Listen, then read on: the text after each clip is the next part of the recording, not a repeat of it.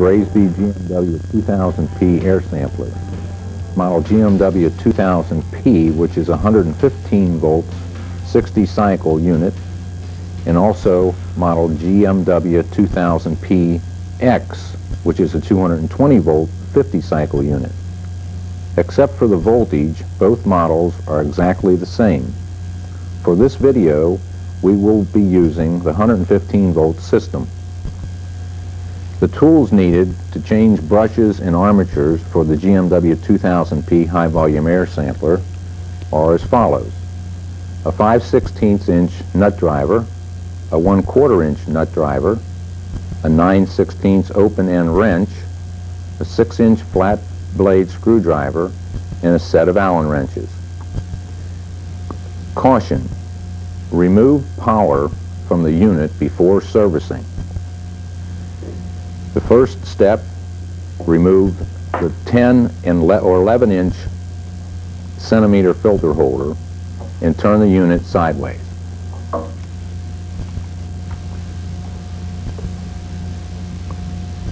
To determine if the fan shell has been damaged, rotate the bottom armature nut to see if the fans are moving freely.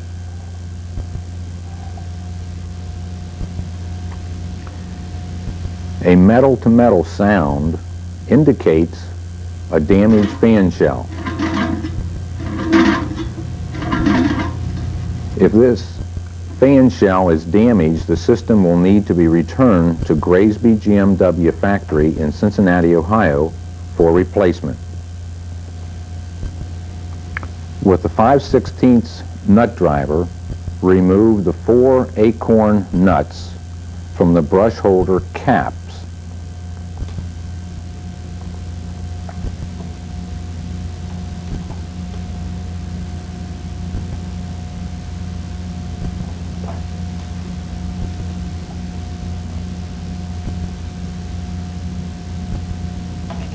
Remove the brush holder caps and set aside.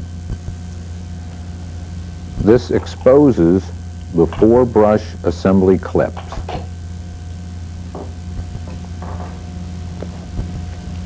Remove the four brush holder cap studs with a quarter inch nut driver.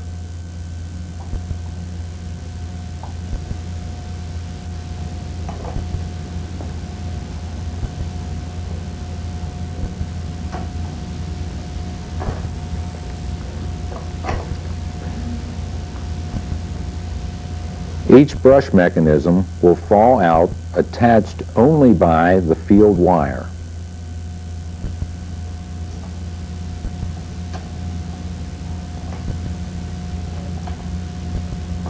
Inspect the commutator for excessive wear or burn spots. If the commutator is okay, proceed with brush change. If not, replace the armature. Remove the copper brush assembly clips to release the brush in spring assemblies.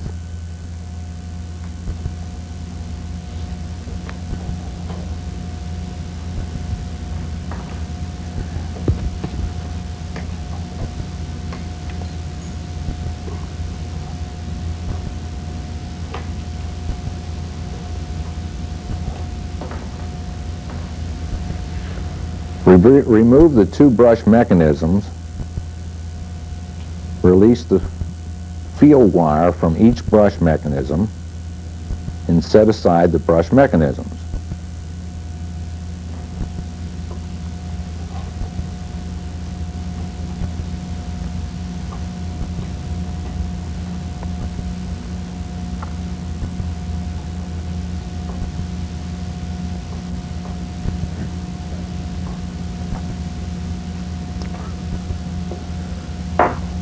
Remove the two screws on the cord connector box.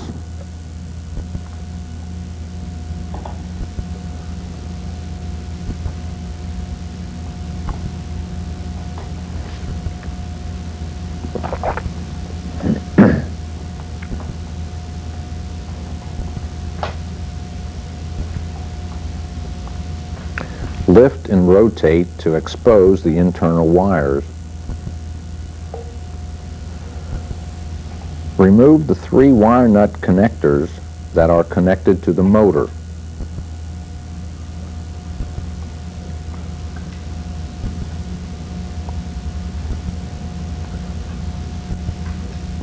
Gently pull the motor wires out of the cord connector box.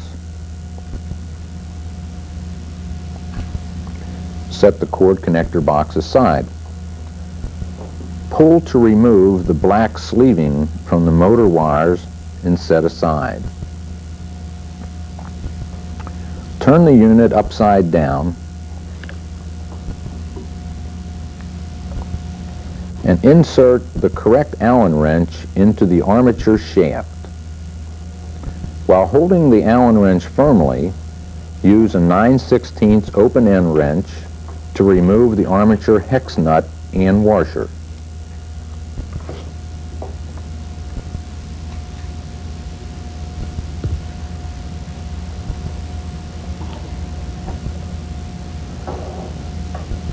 Turn the unit over again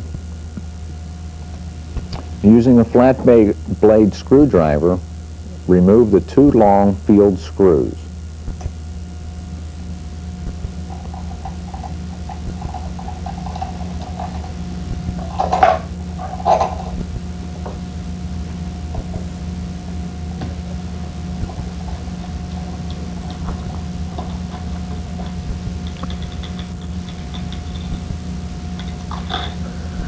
Lift off the commutator end bracket and inspect the bearing sleeve for excessive wear.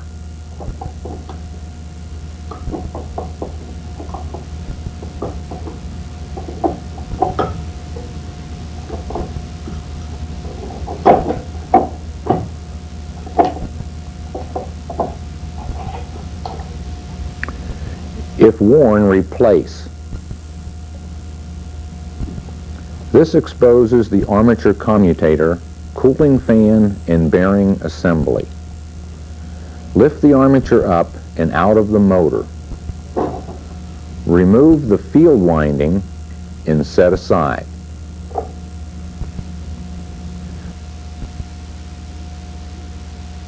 The bearing in the fan end bracket must be removed.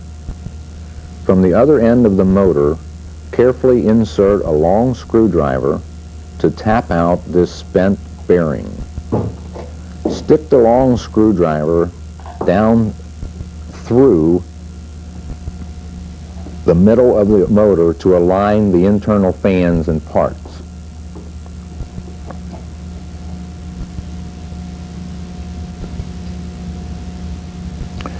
Set the field winding back onto the motor.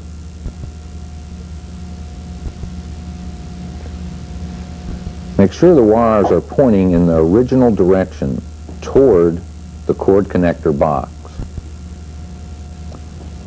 Remove nut from the new armature and install the new armature with new bearings down through the field winding. Do not force, but wiggle lightly to align the internal fans and parts.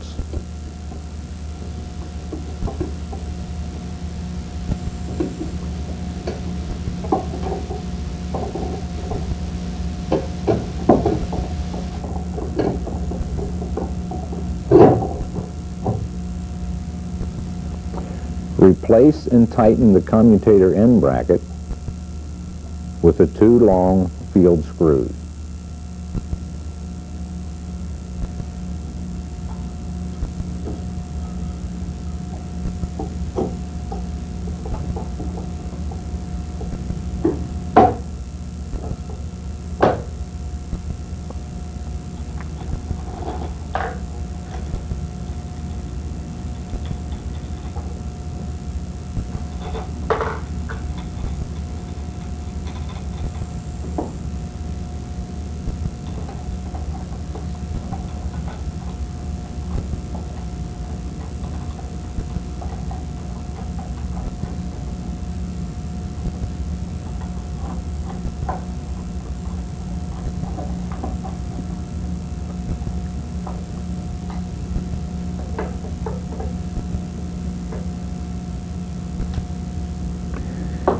Insert new carbon brushes in the brush holders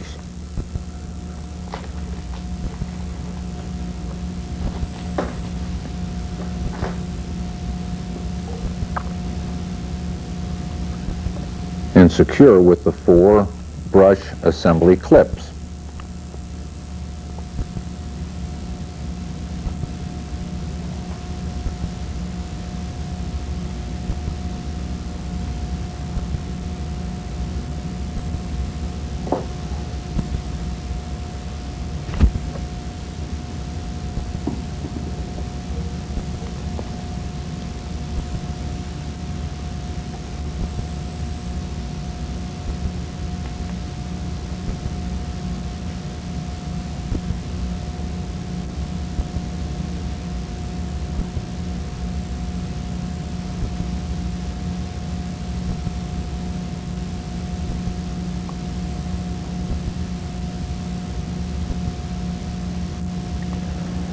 Attach field wire to each brush mechanism.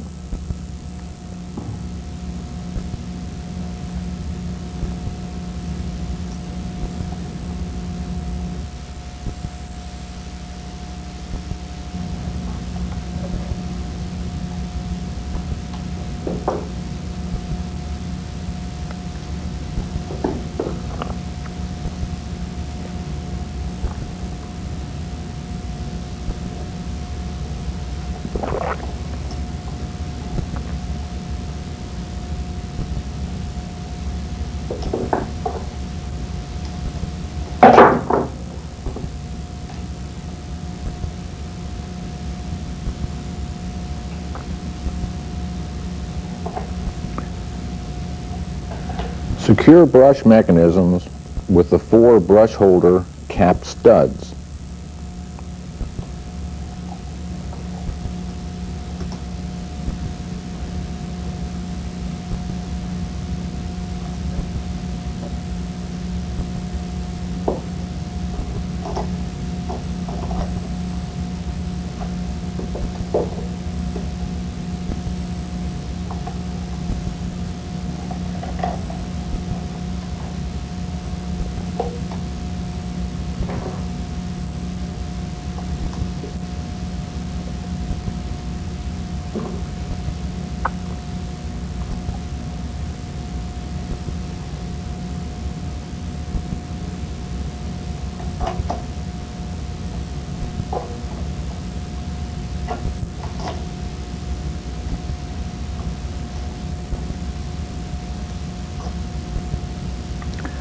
Attach the two brush holder caps with the four acorn nuts.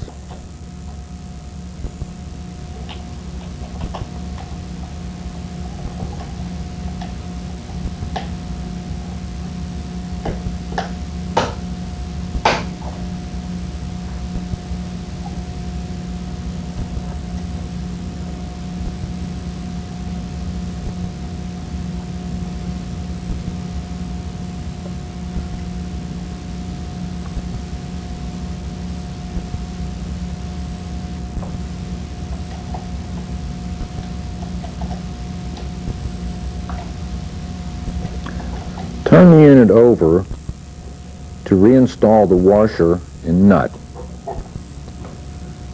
Caution, the rounded edge side of the washer must be placed against the fan. Tighten securely.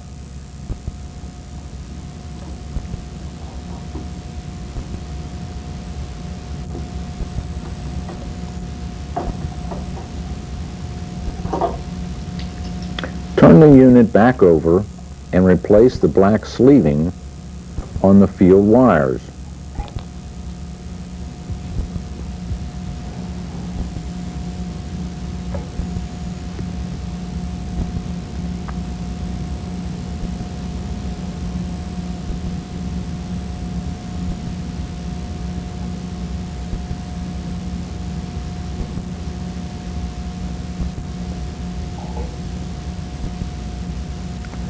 Insert the field wires back into the cord connector box and wire nut to the power cord switch and fuse holder. Caution, make sure the green wire gets wired nutted to the other green wire. The black wires are interchangeable.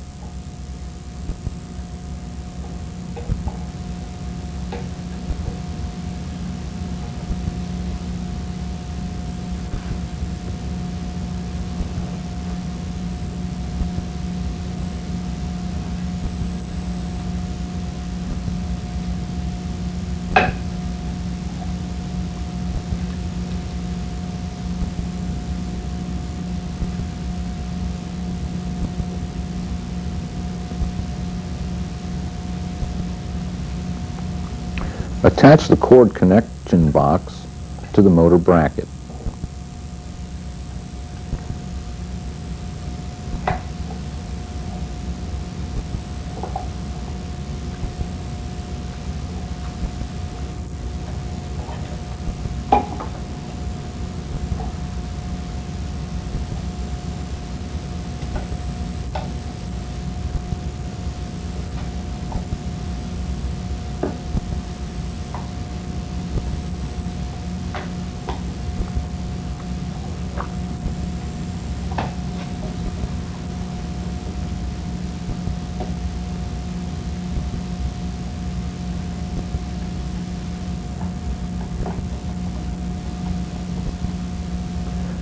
Turn the unit upright and reinstall the 10 or 11 centimeter filter holder.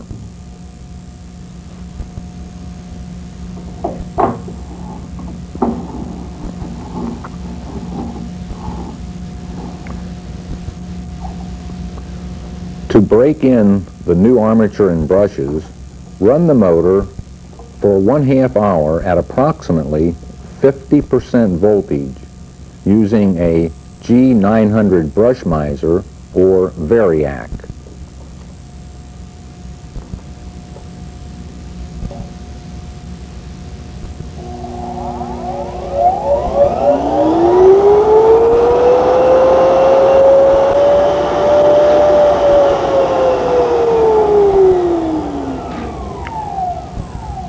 The brush and armature change is now complete. Caution, be very careful not to drop the sampler. This could damage the fan shell.